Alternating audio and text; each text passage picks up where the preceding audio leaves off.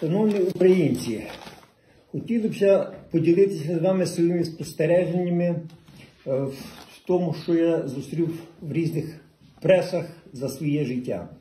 О, колись, коли був я малим, мені мого діда брат сказав, що то читали з Михайля з чеського перекладу, що жінка в білому з косою наведе порядок в Україні. От. І ми сміялися, каже, певно, діду, каже, тому що смерть біла з косою, вона е, наведе порядок. А він казав, не смійтеся, бо так буде. От. Потім далі, проживаючи і читаючи пресу, я прочитав, що Тетяна Глоба в 95-му році писала в газеті Самбірські новини, що після кучми буде колегіальний уряд. Потім залишиться двоє, і одних, один з них буде жінка. Це е, інформація з 90-х років. Потім я, коли вже почався Чорнобиль, теж е, побачив, що дуже багато є відомостей там і в е, Нострадамуса, і в Михайлі, і в Івана Богослова. І звірю, що точно Іван Богослов писав, що Чорнобиль буде, що третій ангел засурмить і впаде зоря на третій річок. О, І буде сильний вибух. О, І люди е, будуть мати е, проблему з водою, бо вода стане гірка, бо то буде називатись Чорнобиль, різновид полину. О, Далі я, вже діставши книгу Новий заповіт, почав звіряти дані з тим, що е, твориться в історії.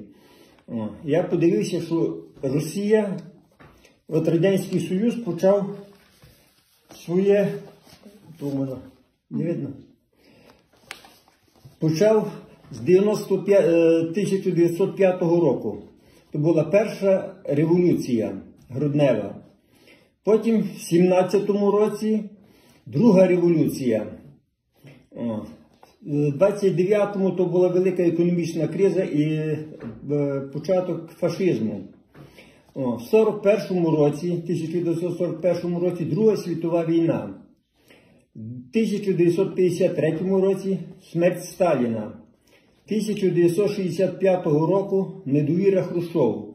В 77-му не знаю, які то події були, бо я історії так добре не засвоїв. Але в мене записано, що то є 1977 рік, то рік Змія. В 1989 році розвал Радянського Союзу. У 2001 Україна без кучми. У 2013 Майдан. І в 2025 має бути кінець Московщини і більшовизму. Ото є, що на Змія, от е, гороскоп е, про революцію. А почалося з чого? Що я прочитав Івана Богослова. Е,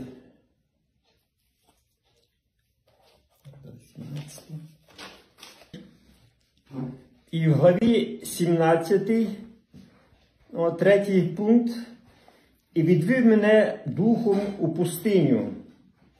О, Іван Богослов сповіщає, що йому явилося у вісні. Що я бачу жінку, що сидить на багряному звірі, повному богозневажливих імен. Він мав сім голів і десять рогів. А жінка була дотягнена в пурпур керамзити, прикрашену золотом і коштовними каміннями і перлами. Вона тримала у своїй руці чашу золота, що була переповнена гідотами і нечистотами її розпусти. На її чолі було написано ім'я, таємниця, Великий Вавилон, мати розпусниць землі Гідот. О, Тут розум, що має мудрість, то є 17-9 глава. Тут розум, що має мудрість, сім голів це є сім гір, на яких сидить жінка, і сім царів. П'ять упало, один є, а інший ще не прийшов. Але коли прийде, то пробуде недовго. А звір, який був і якого немає, він є восьмій, але з тих семи, що йде до загибелі. А десять рогів, що їх ти бачив, це 10 царів, які царство ще не одержали, але царську владу одержали на одну годину разом зі звіром. Вони мають одну думку і силу, і свою владу видають звірові. 13 глава, перша. І я побачив звіра, що виходив з моря, що мав сім голів і десять рогів, а на його рогах десять вінців, а на його головах богозневажливі імена. А звір, якого я бачив, був подібний до леопарда, і ноги його, наче у медведя, а паща його, як паща лева. І Змій дав йому свою силу, свій престіл і велику владу. А одна з його голів, наче мала смертельну рану, але ця рана загоїлася і дивувалася земля, спостерігаючи за звіром. Е, і я побачив вже в 11, 13 глава, 11 пункт, і я побачив іншого звіра, що виходив із землі. Він мав два роги, такі, як у ягняти, але говорив, як змій. І він діє всією владою першого звіра перед ним і робить так, щоб земля і ті, що живуть на ній, поклонилися першому звірові, якого вилікано від смертельної рани. І розшифровуючи це питання, я дійшов до того, що сім голів то є сім керівників Радянського Союзу. Що я хочу е, розказати?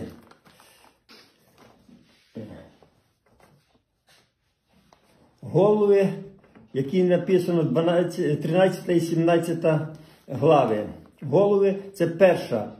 Перша Ленін, друга Сталін, третя Хрущов, четверта Брежнів, п'ята Горбачов, шоста Єльцин і сьома Путін. Ну, Путін з Медведєм вони міняються, бо Путін той, що прийшов, верніше Медведєв, той, що прийшов, але довго не буде. Що Він не протримається довго. Ото, яка була така, як Путін помінявся з Медведєвим. І розшифровка голів. П'ять упало, тобто померли. То померла перша голова, друга, третя, четверта і шоста. Одна голова є. Та е, одна голова п'ята, то є Горбачов. О. А інший ще не прийшов. І коли прийде, то довго не буде, то є Медведів. О. Голова, що мала смертельну рану, це Сталін, друга голова. Другу світову війну Гітлер підійшов під Москву. І то якраз була ця смертельна рана для цього, для тої п'ятої, другої голови до Сталіна. А 10 рогів то є світова спільнота, яка от зараз об'єднується е, навколо України, щоб перемогти того звіра. А жінка та, що сидить на звірові, то є Великий Вавилон, або якщо її називають розпусниця, то є Москва. Вона має часу гідот, яку споює народи світу. І той звір, що його побачив Іван, виходив з землі і мав два роги. Це фашизм, Гітлер. От коли він напав на Україну, він був після революції, тому що революція почалася скоріше. І він, коли напав на на Радянський Союз, о, він був тим ворогом, який дійшов до Москви і мав вбити Сталіна і Москву. Але не вдалося, і він повернувся назад. І його слава пропала, але вона перейшла на того звіра другого, тобто на Московщину. І той звір почав показувати величезні чудеса. От, Якщо хтось хоче більше знати про ці події, тут в главах Івана Богослова в новому заповіті. От, Якщо хтось хоче, ну то заповідь може бути і другий, але повідомлення є те саме, що в тому, то і всіх решту. Е, потім я ще е, читав Михайлу і побачив там таке, що коли нарід побачить, особливо вищих станів, що король прихильний до свого народу застережуть свої поля грошима, щоб здержати і ограничити селян і робітників, а свої ліси закриють дерев'яними колодами і рогатками. Коли король те побачить, прикаже всі поля переміряти і звільнити робітничий наряд від панських робіт, від кріпацтва, а притім постигне його смерть і умре він не на війні, а в своїм домі, на ліжку в страху. Його смерть буде людям дивна, і його мертвого будуть тримати за живого по умершим королю. То так писала Михайда, то про Леніна. О. І тоді по нім настане на престол молодий король. Під час його керівництва повстануть великі війни. Нарід буде змушений давати даром зерно свого поля. Плата податків і данина даром не, не буде людям дуже е, даром буде людям дуже дивна. Ще й до того поступлять нові накази для людей бранка на війну. П'ятикутне військо до тої землі Прийде до п'ятикутне військо до тої землі і в ній встановиться. Це військо буде кожне іншої імені, і нарід мусить забезпечити його своїм удержанням. То є Радянський Союз, Радянська армія. А той король, що помер, то є Ленін. Е, Потім я ще е, читав Михайлу і побачив там таке, що коли нарід те побачить, особливо вищих станів, що король прихильний до свого народу застережуть свої поля грошима, щоб здержати і ограничити селян і робітників, а свої ліси закриють дерев'яними колодами і рогатками. Коли король те побачить, прикаже всі поля переміряти і звільнити робітничий нарід від панських робіт, від кріпацтва. А притім постигне його смерть, і умре він не на війні, а в своїм домі, на ліжку в страху. Його смерть буде людям дивна, і його мертвого будуть тримати за живого по умершим королю. То так писала Михайда, то про Леніна. О. І тоді по нім настане на престол молодий король. Під час його керівництва повстануть великі війни. Нарід буде змушений давати даром зерно свого поля. Плата податків і данина даром не, не буде людям дуже е, даром буде людям дуже дивна. Ще й до того поступлять нові накази для людей бранка на війну. П'ятикутне військо до тої землі Прийде до п'ятикутне військо до тої землі і в ній встановиться. Це військо буде кожне іншої імені, і нарід мусить забезпечити його своїм удержанням. То є Радянський Союз, Радянська армія. А той король, помер, то є Ленін. Вождь третій Советів, то вже е, пророцтво Бодінського. Якщо хто має, може провірити достовірність. Вождь третіх совєтів буде бандитом і, не маючи ніяких національних традицій та виховання, почне насаджувати країні найгірші совєтські порядки колишньої імперії. Тоді настануть другі крути, після яких відбудеться другий великий здвиг народу. Це буде перше повстання проти третіх совєтів, яке було жорстоко подано диявольською владою. О. Митім камедистам буде дозволено все. Для них не буде існування ані Бога, ані закону, ані моралі. Але не треба боятися, бо це триватиме недовго. Зло ніколи не переможе добро. Бог змилосердиться над Україною і вождя третіх совєтів б'ють. Це розповідається про Путіна. О. Питають е, кореспонденти Будзінського, коли це станеться? Отже, це станеться між річницею незалежністю та річницею Шевченка. Його ж недаремно називають пророком в нашому народі. Ці обидві дати мають для нас великий сакральний зміст. Шевченко ж подіями минулого описував майбут... е, наше майбутнє.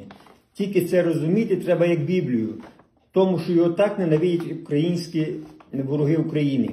Після цього Україну очолить жінка, яка вийде з тюрми, і на Україну чекає дуже швидкий розвиток та велике майбутнє. Від цього від сьогодні, через 35 років, Україна стане однією з найсильніших держав світу, такою, як зараз є Америка. А на Московщину кара Божа за всі знущання, які вона зробила Україні впродовж 350 років та іншим народам. Московщину чекає розпад та повний занепад. З Володимира почалося, на Володимирі закінчиться. Така воля Божа. Отже, а коли це станеться? Це станеться через століття після більшовицького перевороту. От якраз в 22-му році е, є сторіччя, як е, утворився Радянський Союз, 180 років від Шевченка і 30 років е, від незалежності України. Якраз тих три дати співпадають в даний час.